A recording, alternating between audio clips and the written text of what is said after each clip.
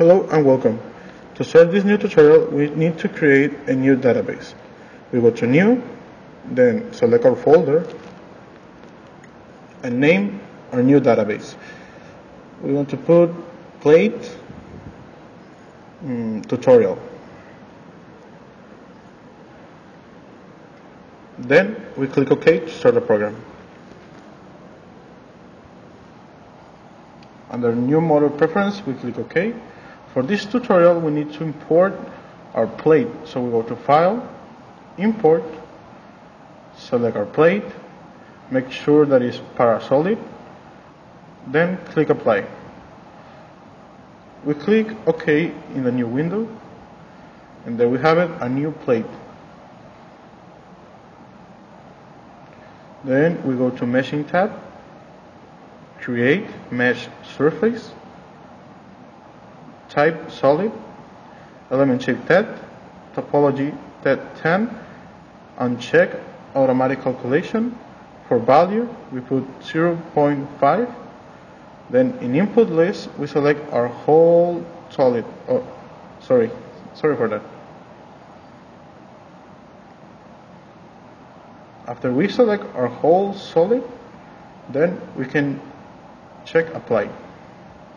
And there we have it, our new mesh.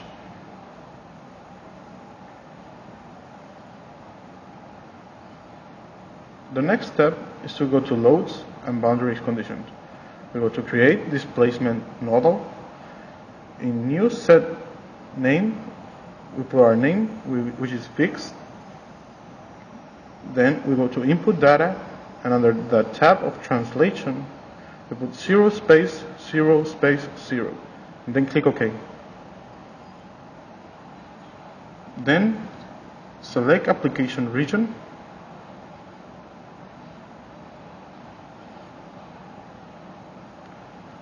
For this tutorial, we need to select the inner parts of the holes of our plate. So we go to geometry and we select surfaces and face. Then we shift click all the inner faces of the holes. Then click add and click OK. Then click apply. And you will see your clamps for your plate.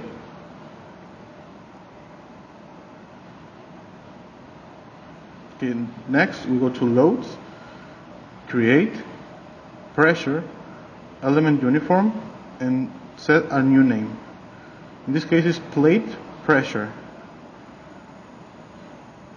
Input data under pressure, we want to put 1200 pounds of force. Click OK. Then select application region.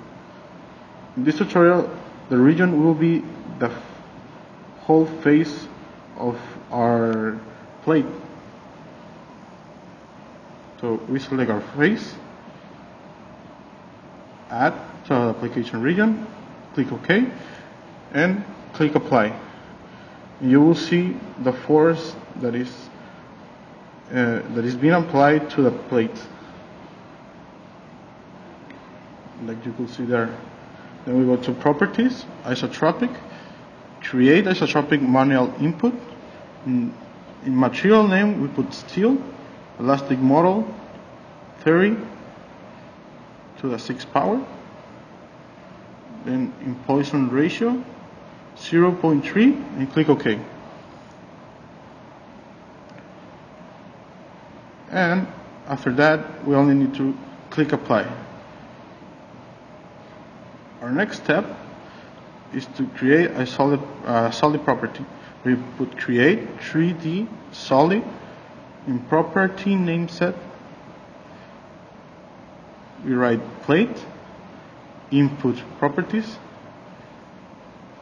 and we select our, our, our last property and select application region. And we need to select the whole solid then add an application region and apply.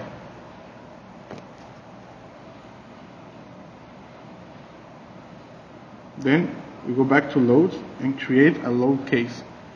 This is, we click modify. This is to make sure that we have all our forces in the right place. Then click on cell. We don't need to click OK for this. We go to analysis and method we check analysis deck. Then in translation parameters we put either and, solution type linear. Then we click apply. Then we go to Nastran, select our folder, and take our um, BDF to analyze our plate. We let uh, the program run. After a few seconds, we go to XDB and select the result file. Select our file that we get from Nastran. Make sure that is the, the right one and click OK. And click apply to see the results. To see the results, we need to go under the tab of plot erase and erase all our forces.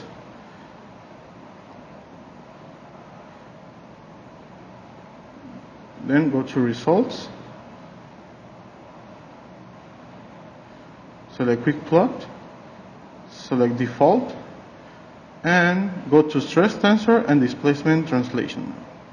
And click apply. Remember to be in von Mises. And we can see our results from the analysis. This is the deformed plate after applying a pressure of 1200 pounds. Go to deform attributes.